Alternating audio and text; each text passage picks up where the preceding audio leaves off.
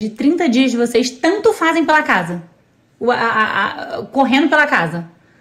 Eles sentam na mesa de jantar para comer, eles passam um cafezinho pela manhã, levam os cachorros para passear, dão uma peneiradinha na piscina. Como é que funciona? Porque os meus bebês de 30 dias, eles fazem basicamente três coisas. Agora eles começaram a fazer uma quarta.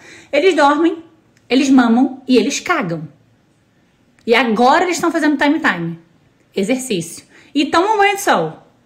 De resto, meu amigo, eles não fazem muita coisa, não.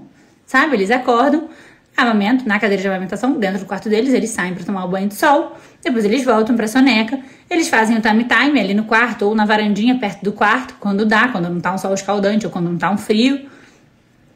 Depois eles dormem, aí depois eles mamam, aí depois eles cagam, aí a gente troca eles dentro do quarto, aí no final de tarde eles dão uma passeada, depois eles dormem no quarto dele, tomam um banho no quarto deles também. O que, que o bebê de vocês fazem? Me conta aqui.